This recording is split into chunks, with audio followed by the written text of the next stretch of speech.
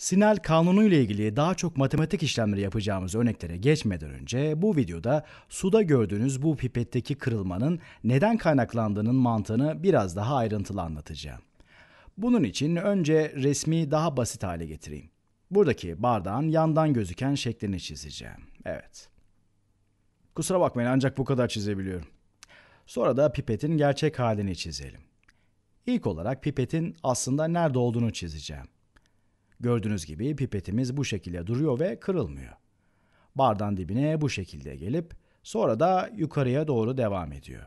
Hatta azıcık da bardağın dışına çıkıyor. Bakın işte burada biraz kırılıyor. Ama burası bizim konuşacağımız konuyla ilgili değil. Benim bu videoda asıl yapmak istediğim fotoğrafa tam olarak buradan yani bardağın üstünden baktığımızda pipetin neden kıvrılmış gibi gözüktüğü hakkında konuşmak. Tüm bu kırılma ışıktan kaynaklanıyor. Burada gördüğümüz gibi pipetteki ışığın kırılması orta kısımdan itibaren aşağı doğru değişiyor.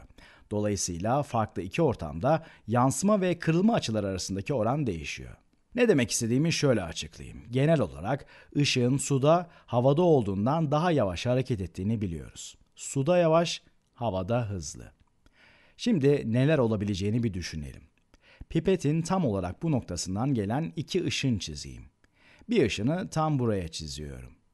Gördüğünüz gibi rastgele bir yöne doğru çiziyorum. Acaba ışın kırılmanın yavaş olduğu ortamdan hızlı olduğu ortama doğru geçerken ne olacak? Işın buraya gelinceye kadar ışının sol yanı tarafı sağ tarafından daha önce havaya ulaşacaktır.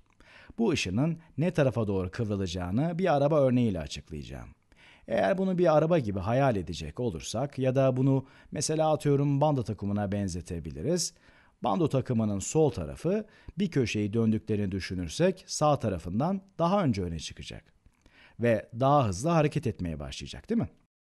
Dolayısıyla ışınımız da böyle sağa doğru dönecek. Sağa doğru kıvrılan bir ışın. Şimdi de başka bir ışın çizelim. Aynı noktadan gelen başka bir ışın. Bir saniye pipet boyunca olmasın. Evet, ikinci ışınımız da tam olarak bu şekilde gelsin. Bu ışın da aynı şekilde sağa dönecek. Mesela eğer biri bu noktadan bakacak olursa bu kişinin burnunu ve yüzünün kalan kısmını da çizelim. Bu kişi aşağı bakacak olursa bu iki ışının nereden geldiği görünür. Bu arada kişinin gelen iki ışını birden görebildiğini varsayalım. Evet, ışınlar nereden geliyormuş gibi görünür? Işınları geriye doğru takip edersek, eğer burada bir çizgi olduğunu düşünürsek, gözlerimiz ve beynimiz bunu zaten yapıyor. Bu ışın hangi yöne giderse gitsin, gittiği yön aslında geldiği yön olacaktır. Aynı şey pembe ışın için de geçerli. Gözlemleyen kişi için pipette görünecek olan nokta tam olarak burası olacaktır. Ve bunu pipet üzerindeki farklı noktalardan tekrar tekrar denerseniz pipet üzerindeki bu nokta aslında tam olarak burada olacaktır. Aynı şekilde bu noktada aslında tam olarak burada olacaktır. Gözlemleyen kişi için pipet şu şekilde görünecektir. Yani kırılmış gibi. Işın bu noktadan yukarıya doğru hareket etmesine ve dışarıya çıkmasına rağmen kırıldığı için geriye çevirdiğinizde bu noktada birleşecektir. Aynen ilk noktada gördüğümüz gibi. Bu noktadan gelen ışın dışarıya çıktığında ve kırıldığında ışınların bu yeni yönlerinden geriye doğru bir değerlendirme yapacak olursanız geleceğiniz nokta burası olacaktır. Dolayısıyla gözlemleyici kişi için pipet üzerindeki bu nokta esasında ışının alttan bu noktadan gelmesine rağmen tam olarak burada daha yukarıda olacaktır. İşte pipetin kırılmış gibi görünmesinin nedeni de budur. Videonun başında da söylediğim gibi tüm bunlar ışığın kırılmasından kaynaklanıyor. Işığın kırılmasının yavaş olduğu ortamdan yani sudan hızlı olduğu ortama yani havaya doğru hareket etmesinden oluşuyor.